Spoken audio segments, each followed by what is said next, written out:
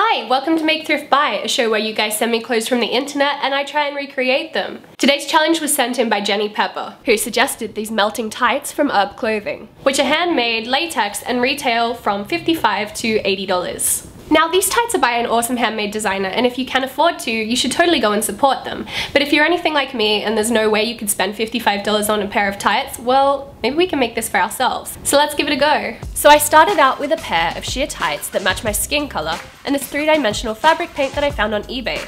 As soon as I saw there was glittery paint, I had to have that one, but there are non-glittery types if that's not your thing. I also got myself a large piece of cardboard, which I rolled up into the approximate width of my leg, and I stretched one leg of the stockings on over the cardboard and I started painting. I basically just did these big long drips down the length of the tights in what I thought looked like a melting style.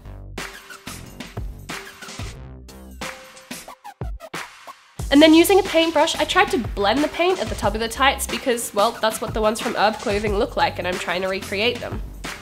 With one leg done, I set this outside in the sunshine to dry for a few hours. Then it was simply a matter of removing the tights from the... Wait. Oh. It's stuck. It's totally stuck. So the cardboard and the tights have dried together and now they won't come apart. About an hour later, I finally managed to release the tights from the cardboard, but unfortunately, a lot of the cardboard came with it. And I almost gave up at this point when I discovered that scrubbing the cardboard off with a wet cloth seemed to do the trick. So I saved them and I was back on track.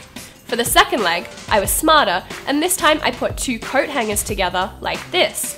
This ensured that the tights would be stretched and also that the opposite sides wouldn't stick to each other. For this leg, I took it outside, clipped it onto my washing line so I wouldn't get paint everywhere, and then I did the same dripping paint technique as before, except that I didn't blend the paint at the top this time.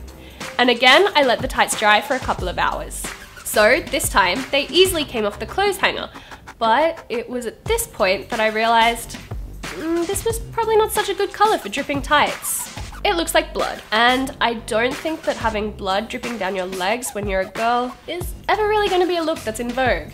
Also, another massive fail was where I tried to blend in the paint at the top of the tights. This stopped the tights from having any kind of stretch to them, so I couldn't actually get this leg onto my own leg.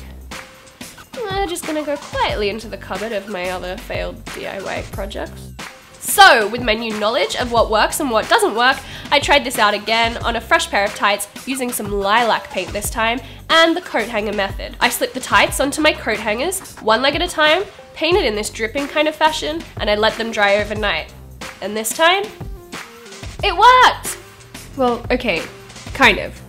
I mean, they don't look anywhere near as good as the ones from Urb Clothing, but I mean, they're really not that bad. And because I stuffed up so many times, the price was getting towards the original price of the tights, but if you didn't stuff up as much as me, and you bought three-dimensional fabric paint in single bottles, then you could feasibly make this for under $10 and it would be totally worth it. So, my conclusion? Heck yeah, you can make these yourself. They're not going to be as cool as the ones from Urb Clothing, but I still think they're pretty effective. So make sure to give this video a thumbs up, subscribe to my channel, because that really helps me out. Happy crafting, and if you have any more suggestions for clothes that you've seen on the internet that you'd like me to try out, then just let me know by leaving a comment below. And I'll see you all next time.